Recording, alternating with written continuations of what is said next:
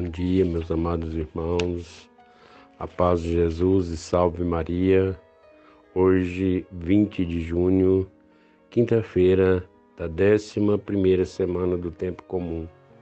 O evangelho de hoje está em Mateus, capítulo 6, versículos de 7 a 15. O Senhor esteja convosco, ele está no meio de nós. Proclamação do Evangelho de Jesus Cristo segundo Mateus. Glória a vós, Senhor. Naquele tempo disse Jesus aos seus discípulos: Quando orardes, não useis muitas palavras, como fazem os pagãos. Eles pensam que serão ouvidos por força das muitas palavras. Não sejais como eles, pois vosso Pai sabe do que precisais muito antes que vós o peçais. Vós deveis rezar assim: Pai nosso que estais nos céus, santificado seja o teu nome. Venha o teu reino. Seja feito a tua vontade, assim na terra como nos céus. O pão nosso de cada dia dai-nos hoje.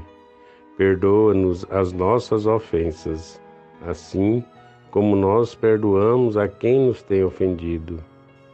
E não nos deixeis cair em tentação, mas livra-nos do mal. De fato, se vós perdoardes aos homens as faltas que eles cometeram, vosso Pai que está no céu também vos perdoará. Mas se vós não perdoardes os homens, vosso Pai também não perdoará as faltas que vós cometestes. Palavra da salvação. Glória a vós, Senhor.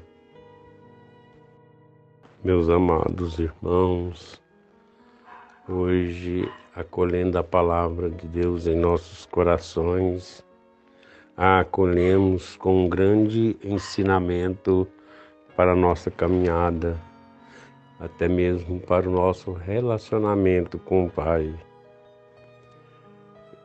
Sempre nós falamos que Jesus veio e sempre nos ensinou, sempre nos ensina. Tudo o que ele faz e que ele fala foi para nos ensinar. Ensinou tantas coisas.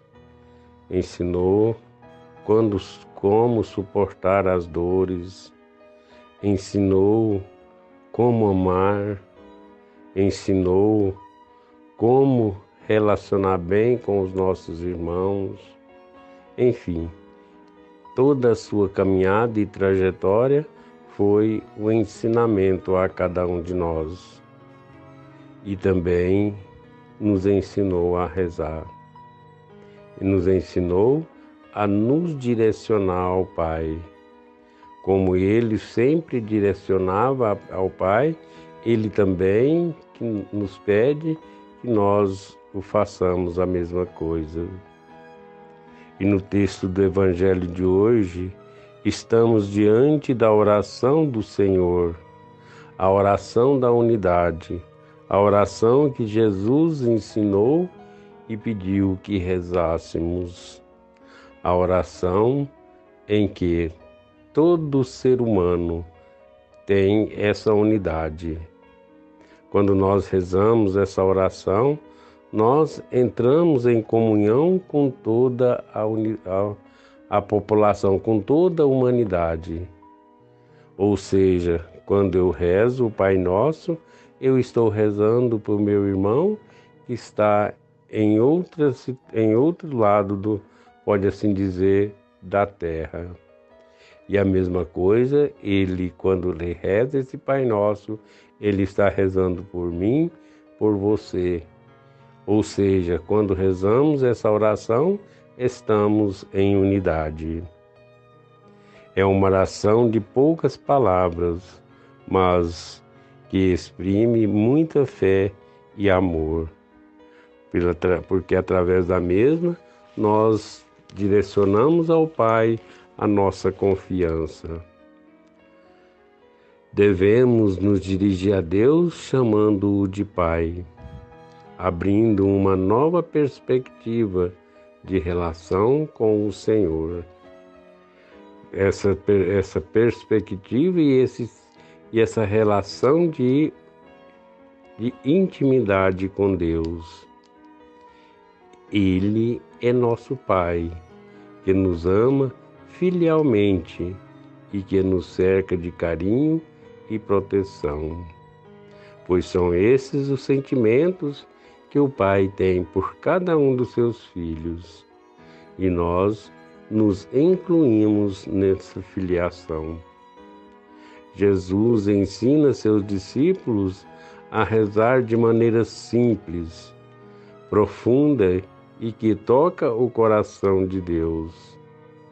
Da mesma forma, ele nos ensina também quando nós rezamos, temos que, de maneira humilde e simples, de maneira muito amorosa, tocar o coração de Deus.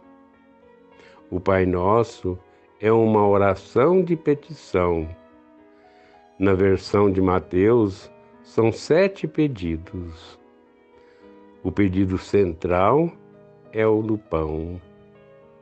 Pedimos que nunca falte o alimento material em nossas mesas e na mesa dos irmãos. Porque na oração, meus queridos e amados irmãos, nós pedimos não tão somente para nós, mas para todos os nossos irmãos, por todos os nossos semelhantes. Essa petição nos faz refletir a condição de miséria e fome que também tantos irmãos e irmãs vivenciam a cada dia, vítimas da ambição, da injustiça e da ganância. São tantas injustiças, são tantas falta de alimento, falta de relacionamento entre os povos que às vezes nos deixa e provocam uma grande injustiça. Portanto, queridos e amados irmãos, peçamos a Deus que também sejamos sempre alimentados pelo pão espiritual de Sua palavra e que o mundo se converta. Converta no amor, converta na solidariedade, converta na fraternidade que esses sentimentos sejam os únicos praticados por toda a humanidade. Ou seja, simplificando, que nós todos pratiquemos o amor. Que Deus nos abençoe hoje e sempre. Louvado seja nosso Senhor Jesus Cristo, para sempre seja louvado.